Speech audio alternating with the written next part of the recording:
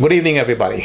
Uh, the other day, I had uh, provided some comments about critical thinking, and Sanjay Mehrotra, who's been in touch with me for many years, he had a question uh, in relation to climate change. So I've given him some thoughts, but I sort of collected uh, the outline of the main theory into a little dot points, and I want to talk about it so that you can actually think about it um, in a critical way. So let's uh, see what's the issue with the uh, global warming the, everything goes on and everything keeps changing, climate changing, and we don't really care about it. Uh, we can manage it, we can adapt to it, etc. So, wh- what are the two main issues with climate change? The first main issue that most people are really uh, afraid about is that it will burn up the earth. Effectively, it is that strong an effect that the entire earth, uh, the atmosphere will warm up so dramatically that it become impossible to live on earth. Okay now, we know very well uh, that human beings live all across the planet in extreme climates, really negative, uh, you know, 25, 50 degrees centigrade, all the way up to 50 degrees uh, positive a variation of 100 degrees. So as far as humans are concerned, that's not really an issue.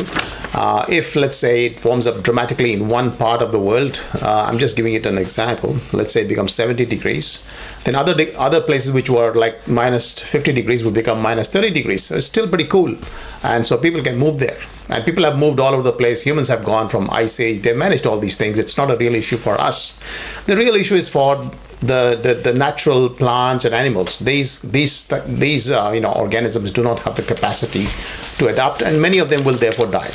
So that's the, probably the major major concern. It's it, it's the, the economic effect on humans if it uh, you know major issue occurs, and the uh, significant effect on animal and plant wildlife. So let's say that that's overall it's a very significant issue that you know if the if the climate warms up by 20 degrees it's quite a big deal. Uh, we should therefore think about it. You know we should be we should prepare for it. We should uh, ask questions. We should even prevent it if possible.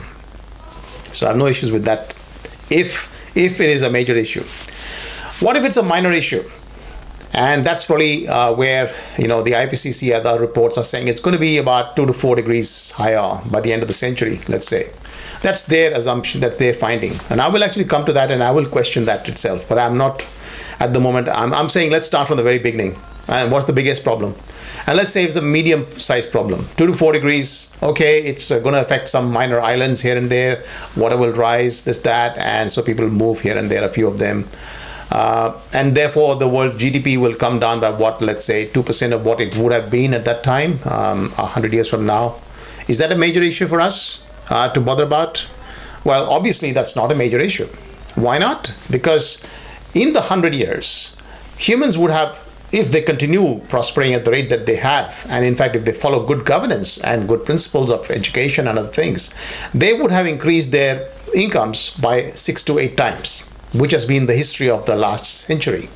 And even, I mean, that's modest. The countries like China, etc., have shot up even much more dramatically. Let's say a modest country uh, would grow at 2 to 3% um, over the years and would end up having increased per capita incomes by about six times in a century This is an average you know where if you have if you've got high population growth that doesn't work and so on and so forth but let's say an average of five to six times you've increased now people who have increased their income and wealth by five to six times from what they are today.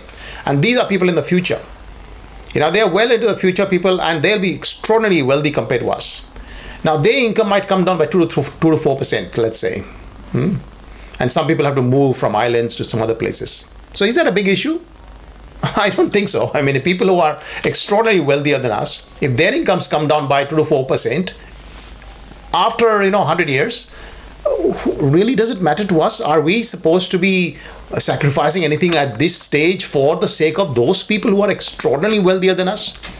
I don't think it makes sense. Okay, so that's where, let's say, these are the two major scenarios of climate change, uh, the way the global warming issues that we hear about. I will now come to the uh, you know the the actual science behind it, and then we'll basically rebut the entire idea as being nonsensical and a bit of a fraud, uh, political nonsense, and so on and so forth. And we'll come to that in a systematic way. So the idea here is critical thinking. The idea here is we need to really go through the entire science and look at the data. Okay, so am I questioning greenhouse effect? Am I uh, creating new science here? Am I saying the earth is flat? Of course not you know me, I'm actually totally, a, you know, a fanatic about science. I actually am a, I'm a maniac about science. Science has to be carefully examined and its, its evidence and data are very important. Its theories are very important for us. And so there is a greenhouse effect. There is no doubt about it. Uh, there is no doubt about it that if there was no greenhouse effect, the earth would have been so much, so cold and bitterly cold, we would probably not have existed. Uh, the whole thing would have been radically different. It's the fact that there are these greenhouse gases which allow us to have at least 50 to 20 degrees higher temperatures than what they would have been otherwise. And that's fantastic. Okay, so we need these greenhouse gases around us to keep us warm and to keep this earth livable. So I'm not debating the greenhouse effect. I'm not contradicting. I'm not saying it doesn't exist. And how does it work? It's very straightforward. And it's really important to understand how it works. I'll, I'll explain in a simplistic manner. You can actually look at uh, many videos and uh, documents and see how it works more carefully. So the the the the uh, electromagnetic radiation visible and non-visible um, invisible let's say that's coming from the sun. There's a lot of lots and lots of it of different uh, wavelengths. Uh, it, it has it, it has those photons vibrating at different levels of energy. Okay so each of these various greenhouse gases, and there are lots and lots of them. The water is one of them, methane is another, and then there are other types that I, I can't really repeat right now. I, I don't remember, but there are many other greenhouse gases. Okay, let's say all these greenhouse gases, and they all have different isotopes, and each isotope works differently. What happens is that these the these greenhouse gases have a particular property. All of them have the same property essentially. They absorb photons from a particular particular wavelength. So it can be high wavelength or low wavelength of light uh, or, uh, or invisible in electromagnetic radiation. What they're doing is that when that, let's say there's a series of atoms, carbon dioxide atoms. Let us take carbon dioxide, that's the one most commonly used in the debates. Now that is stacked heavily at the at, towards the earth. There's lots and lots of carbon uh, dioxide atoms uh, around us although that's 0.03% of the total atmosphere. It's a really tiny amount but let's say there are many many atoms you know stacked between now and let's say half a kilometer and then there are a bit fewer atoms uh, of carbon stacked vertically upwards beyond that and so on and so forth all the way to say 100 kilometers above us. And then they start really fading out. There's hardly any carbon atoms after that. So what we see now is that the the ray of light that's coming from the sun. Let's think of light for example rather than thinking of uh, different you know parts of the electromagnetic spectrum. So let's say one ray of light falls from the sky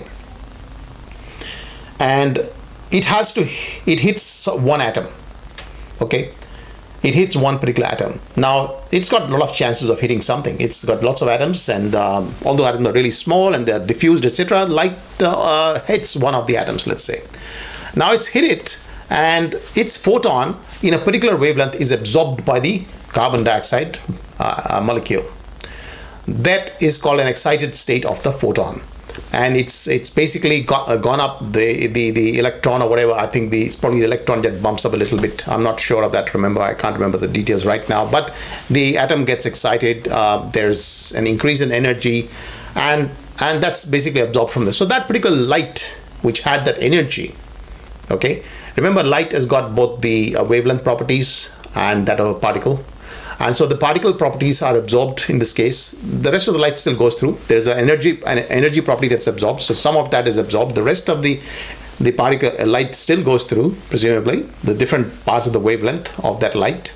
But some part of that energy is absorbed in the in this carbon dioxide.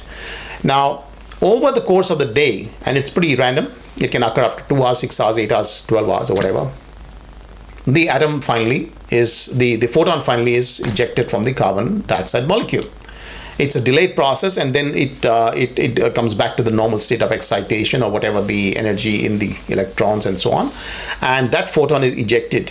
When that photon is ejected and often it happens at night uh, that that energy that was captured by the carbon dioxide is released and you get it as heat in the atmosphere at night okay and this generally applies as i said it can happen two hours six hours or whatever. So the energy this, this is pretty random. And it can happen anytime. So even during the day you get a bit of the effect. And at night you definitely get a bit of the effect of that warming from the uh, greenhouse gas. But note one very important thing here okay? That light which has got rid of its atom while coming into uh, a photon while coming inside the uh, earth has actually now got no more energy at that level at that point. It's got nothing to to contribute. It's it's basically going through. It might catch another greenhouse gas and therefore some other part of it might go somewhere here and there but basically it's now got less energy than it had in when it well it entered the earth's atmosphere. Now therefore what we're saying is that the the uh, atoms of carbon at the top more area topmost area of the earth's surface will absorb almost all the earth's all that particular radiation that's coming in they will absorb and they'll get excited. Okay the ones at the top by the time the thing reaches the bottom area of the earth, the surface of the earth, it's actually got very very little energy left. The, the energy that's coming from the sun is much less than what it was at the top, and that's what is left. And so carbons are the carbon dioxide molecules are saturated. Essentially, that energy has been absorbed very little so the, the there's nothing coming in if there's nothing coming in what can be absorbed nothing much right so that's the kind of uh, effect which is a rapidly decaying effect so the first few, let's say, molecules of carbon in the atmosphere create a massive effect relative to others, okay, uh, of greenhouse gas. The next 100, let's say 100 molecules, the next 100 will half of that effect or less. And then another quarter and, and or less and so on. It rapidly tapers off. The effect, the more and more carbon dioxide you add in the atmosphere does not mean that there is a direct effect on the temperature all right? So the greenhouse effect that's the standard formula. I would have given you nothing but the standard formula. So i'm not debating the greenhouse effect. What i'm saying is the greenhouse effect rapidly tapers off after a particular level and it tapers off. It is the current impacts of climate are very of doubling of the uh, uh, carbon have been estimated to be just one degree. You know so when when let's say there's zero carbon okay uh, and then it becomes 400 parts a million uh, which is the current level then let's say about 350 to 400 let's say that's what happens. Uh, then the temperature goes up by nearly 15 degrees okay? The next 400 it only goes up by one degree. You see the point i'm making? That the effect of this carbon is extraordinarily low after a point. Now all that is good. That's only the greenhouse effect. But what about the whole uh, you know atmosphere and, and how does it work? Is it only the carbon dioxide? It's only 0.03 percent of uh, uh, you know of one percent basically 0.03 of uh, percentage of the entire not percentage the proportion of the entire uh, uh, of one sorry of one percent of the atmosphere. Is a really really tiny quantity okay? It's therefore 300 parts in a million. So that's the 0.03 percent of one percent. Now there are obviously many other factors. You have the the sun, uh, which is the basically heating up the uh, the planet. Uh, that's the, really the solar effect. How how strong is the sun? You have the magma inside the uh, Earth's uh, you know core that's heating things. You have the distance of the sun of the Earth from the from the sun, but not just that. You actually have effects of how the whole solar system is behaving in relation to other other uh, solar systems in the Milky Way and as a result you start having those ice ages and other things which we still probably don't understand very well. But let's say there are many effects. But don't forget simple things like uh, you know um, water molecules. Water molecules are both greenhouse effects but all they also create clouds. And clouds uh, can dramatically reduce the coming incoming rays of the sun. So there are this huge number of what you call effects that are taking place on on earth at the same time which then lead to a particular natural outcome of say whatever the 15 degrees above what it would have been without the greenhouse gases. So now we have arrived at the thing that this is very complex. So even though carbon dioxide might create a one degree effect in 100 years after doubling let's say uh, we double in 100 years which is probably not going to happen given the kind of you know alternative energies that are coming in the, into play at the moment. Let's say even if it doubled it's one degree. What the argument is that there's a feedback effect and the feedback effect i won't go into details but that apparently will create the extra two or three degrees heating of the entire atmosphere. Okay, so now what we see is that okay, if you're a great scientist, and I, I think this is rock, this is the real rock solid science that underpins these independent uh, contributions. Then the question is how does it work together? And for that you have to have a climate model, or you have a, an extensive equation, a multivariate equation, and all this stuff, and then you have to have a predictive kind of a climate model. And then you notice that science is basically all about prediction don't forget that anything in science is has to be 100% true. And we're talking physics here. We're not talking, you know, biology and economics and all those kind of uh, other things. We're talking pure physics in or chemistry or whatever. And this has to be 100% accurate if you're really good. So you might have, have a single isolate a single carbon carbon effect of greenhouse gas or another greenhouse effect, but you can't add up the whole thing, including the sun's uh, you know motion effect, the, the motion of the, the Earth's effect, the volcanoes, the uh, you know the motion of the Earth around the solar system, and and uh, also around particularly the solar system around other systems, and so on and so forth. There are many, and the clouds and cosmic rays and the whole lot. I mean, we won't go into details. So that whole thing is known as a climate model. Now Climate models, one would assume they would predict correctly the effect of the uh, all these variables. But guess what? All of them, and there's no exception here, all of them have over predicted what has actually occurred. So it's now been more than 30 years since we have had climate models. We have got about 30, 40 climate models. It's not just one, but all of them are making this. Not one of them has predicted the actual performance of temperature on Earth. By the way, in this particular regard, let me quickly add this is not that simple. The, even the measurement of climate of carbon in the in the atmosphere is a very complicated thing, and and people can disagree with that because it's not easy to measure. Okay, so we're talking of fundamental issues about that. We're talking of many other fundamental issues in this whole business. But let's say, for simplicity's sake, you can somehow measure the temperature of the Earth. Now that's another one, temperature of the Earth, but the heat island effects and the kind of fraud that's occurring in the, in this in the in the you know uh, the bodies, meteorological bodies, many of them, and others in terms of measuring temperature. Even simple data are being politically manipulated. But let's say even if you accurately, even if you assume that they're all right. So you have two types of measurements. One is on Earth, one is on satellites, and and satellites presumably more independent than the ones on Earth because the Earth is contaminated. Let's say I'm not going to any of the details. There are a lot of details here, but simplicity speaking, let's say that these climate models should have predicted at least somewhat within the range of the actual reality. But they've all overestimated. They're all wrong. In science, we say one thing if your empirical evidence or your prediction has come out to be wrong, you actually have to go back to the drawing board. Your theory is wrong. What has happened here is that the, the climate scientists have not yet mastered the entire effects of different things on the climate. They simply don't understand it. And with that lack of understanding, they've been making a bit, a bit of a noise and so on and so forth. And I'll come to the political aspect of it and why they're doing this because they need all this taxpayers' money uh, and a bit of a massive fraud going on. But let's let's say that if the climate models are wrong, they're all wrong. Okay, the whole thing is wrong. Now, when I started this studying this whole issue, my questions were in relation to simple things like okay, climate, carbon, and temperature. What's the correlation? And if you go back in time, you find there is absolutely no correlation. The carbon effect on the climate is extraordinarily small.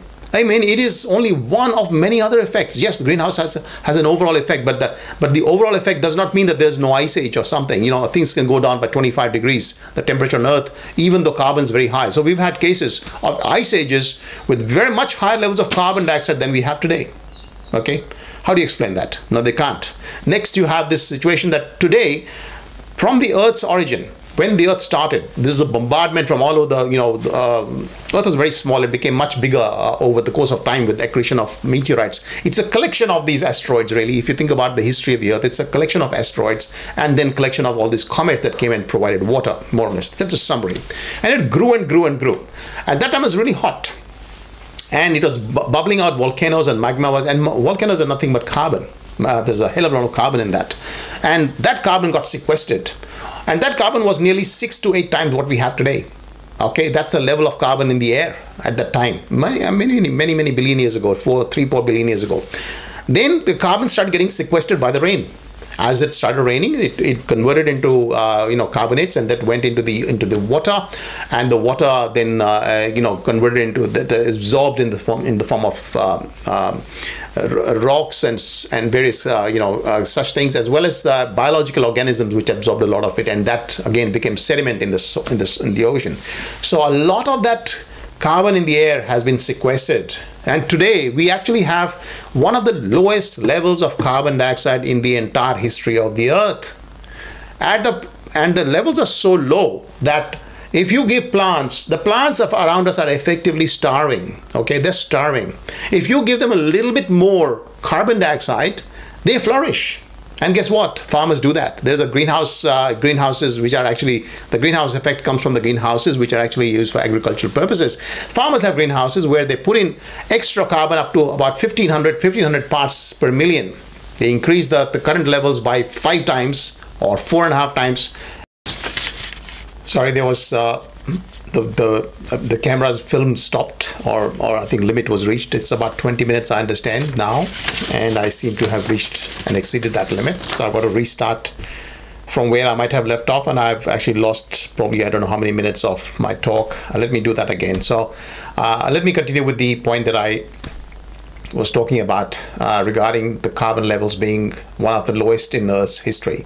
So this is something you can all go and verify. Okay, so uh, essentially what we're saying here is that carbon dioxide is uh, is very powerful at lower levels of concentration, becomes much le- much less powerful as it increases, and at the moment it's extremely low in terms of capacity to influence the Earth's temperature. And and I won't go to the feedback issues and so on. I don't even remember what I've actually said. I've said a lot of scientific things, but at the moment I'm assuming that I've covered all those issues. I've got to rush now. So the other the, the point I just want to mention quickly is that the IPCC's own reports, if you go back in time, they clearly mention that the current at the end of the 20th century heating uh, warming was much less than the warming in the in, in the medieval era as well as in the uh, roman era and then there's so much overwhelming evidence about this thing. So there's there are hundreds of studies which show that. But then this comes this uh, man uh, called Mann M A N N. He's a so-called scientist who did his PhD on some such uh, on studies with uh, tree rings, and then comes out and proves apparently that there was a massive, uh, you know, there, there was no medieval warming, there was virtually no uh, Roman warming, and everything has actually happened only now. And that paper uh, was very uh, attractive to the IPCC and other politi- political uh, fellows who wanted our money, and therefore they published that and became uh, and Al Gore used that to create panic in the world. and so that's complete nonsense. That's a false uh, study that's been rebutted many times uh, since then and there was definitely an ice uh, global uh, medieval warming. Then there was an ice a little ice age and from which we are recovering at the moment. So if you look at the data we're very consistent with the fact that we're recovering from a little ice age that was there uh, in the towards the beginning of the 17th century i think. It's about 220 days ago. Uh, check the data so uh, what I've just mentioned here is that the climate the climate science, the, the real science, does not tell us anything that there's any even a even a modest level of a problem. Forget about the major issue. There's not even a modest level of a problem. It's a it's a standard set of warming, and yes, there is a very tiny. My personal estimate of the warming caused by the uh, carbon dioxide since we've started putting much of it in the atmosphere is that we might have increased the global temperature by 0.15 degrees centigrade that's what I can, uh, using my very simplistic but scientific analysis of data, I've come to that view. Okay, and and and I'm I'm not um, even persuaded that the Earth's uh, temperature will rise by more than more than one degree, uh, another one degree uh, by the end of the century. So it could go up to two degrees according to the IPCC, but I don't even think so. Think so. They need to get back to the drawing board. The science here is very complicated, and at the moment they're completely overestimating the the reality in terms of temperature.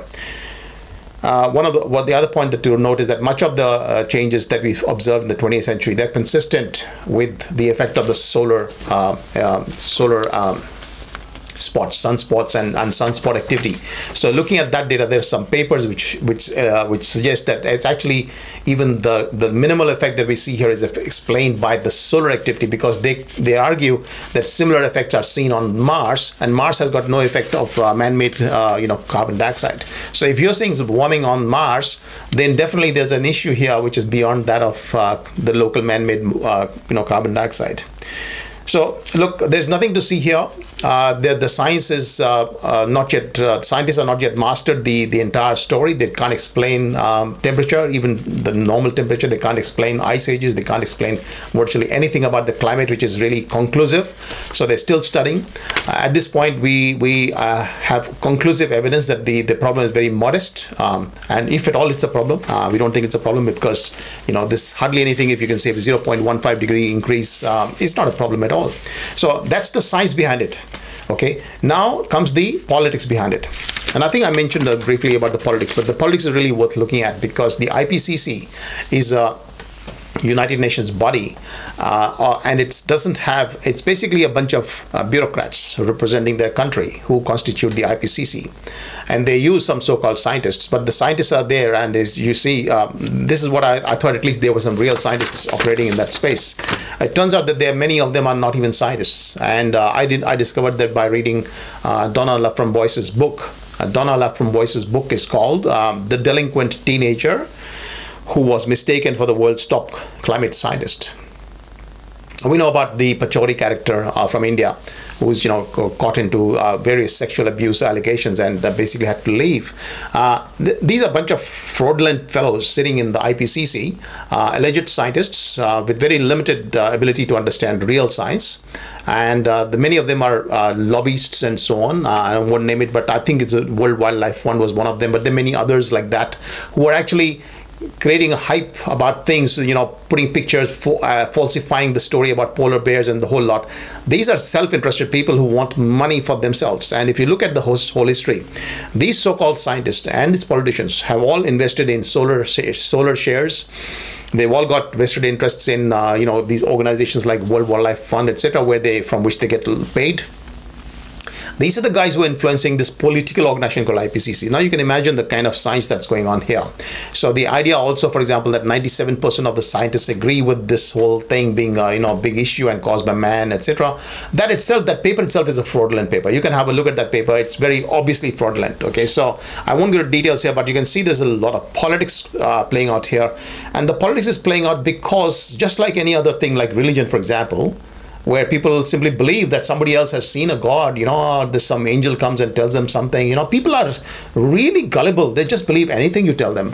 Uh, it seems to me to be that rather than check anything. So this is where these uh, ipcc have taken advantage of the people's gullibility to create panic when there's not the slightest case for panic. They've been touting falsehoods. They've been publishing falsehoods and they've taken the world for right and they've taken the money as well they've taken your pocket they've taken as i said if you are not going to be doing critical thinking uh, you will, your pocket will be you know made much lighter that's what's happening in, in this particular space of climate change.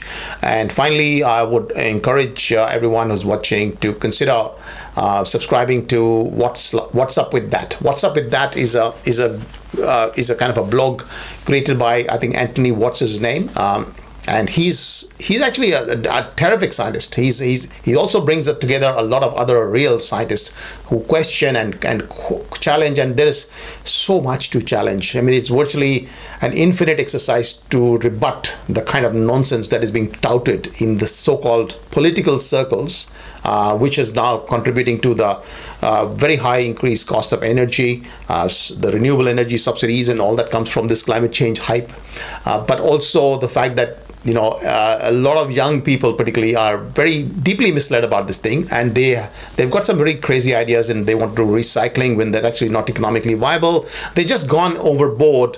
Even though the basic environmental issues are still untouched many of them are really the, the hardcore issues of environment need to be looked at. And for that we need from really good science because good number of species are dying in front of our eyes. That is caused by real man-made problems solutions to that are also quite different and that's not related to the so-called carbon. So carbon dioxide hype has actually created a kind of a cloud of mindless uh, cloud in the in the and covered the eyes of the people the young people in particular and they are unable to see through the reality of the fact that so many animals are dying and we need to save them. But we need to save them using economic logic and rather than some you know passion and such things. We need a lot of intelligence and a lot of uh, critical thinking even to do that. I think i better uh, you know end now. There's so much to say but i can probably talk, come, to, come back to this later uh, in terms of any particular detail that anybody would like to dis- me to discuss. All right, thank you very much.